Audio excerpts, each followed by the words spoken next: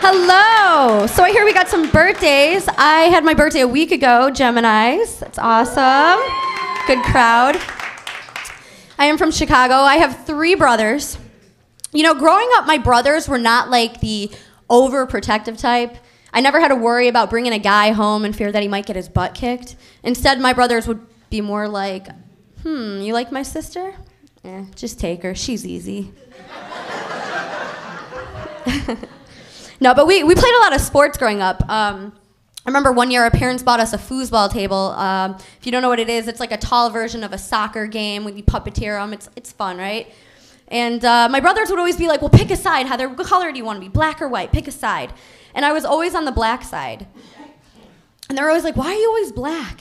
I was like, because they're better at sports. Just kidding. That's for Obama. Yeah, yeah. I got picked on a lot. My grandma hates me till this day. I don't know what I did. She'd always compliment me, but she was like indirectly, she was insulting me. She'd be like, Wow, Heather, you look really good. You've been throwing up? yes. Wow, you're so tan. You think that looks good? I did.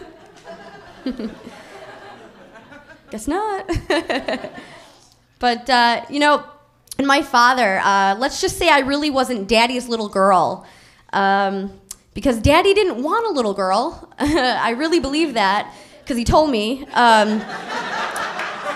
you know, and it, there was a lot of hints too growing up. You know, it's like he wouldn't let me uh, do dance classes. I could only play sports. Uh, he wouldn't let me, you know, grow my hair long, wear pink.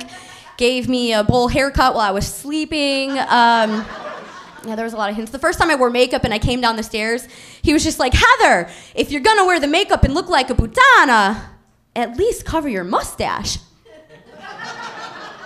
I was like, but dad, I'm eight.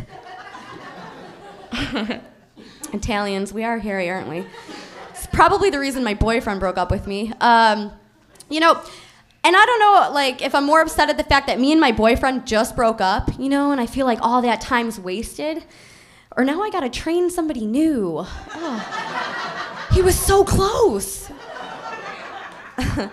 So I'm like, I don't want to die alone. I enlisted in eHarmony. I'm just kidding. It was MySpace. It's free. Uh,